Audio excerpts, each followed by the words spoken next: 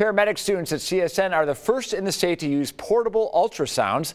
Fox 5 photojournalist Cecil Anderson shows us how it works ultrasounds. We're doing ultrasounds in, uh, pre, in the pre-hospital setting. It's very new. I, I would say it's uh, more on that cutting edge. Uh, the majority of programs are not doing this yet. We're the first program in Southern Nevada that's doing it. Um, we're getting the landmarks and trying to figure out where to where to actually put the the probe for the ultrasound. So this is a little uh, portable ultrasound device. Um, it has a few different options on there. We're going to take a quick little look at his lungs and it's going to tell us if, if there's any blood basically where there shouldn't be blood.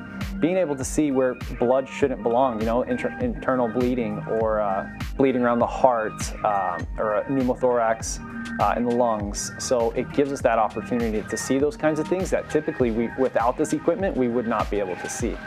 So we go ahead and click on it and it'll change the frequency for us so it's super fast to use, especially in an emergency setting.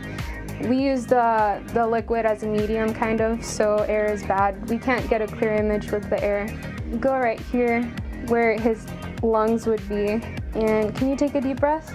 And the image that we're looking for is kind of like ants on a log, we describe it as. If that area by um, that we want to move, that white area that's on the screen, if it's pitch black, it means there's um, it means there's some liquid in there. And Being able to see those kinds of things, we'll be able to make a uh, better treatment treatment plans, as well as uh, better destination destinations for the patients.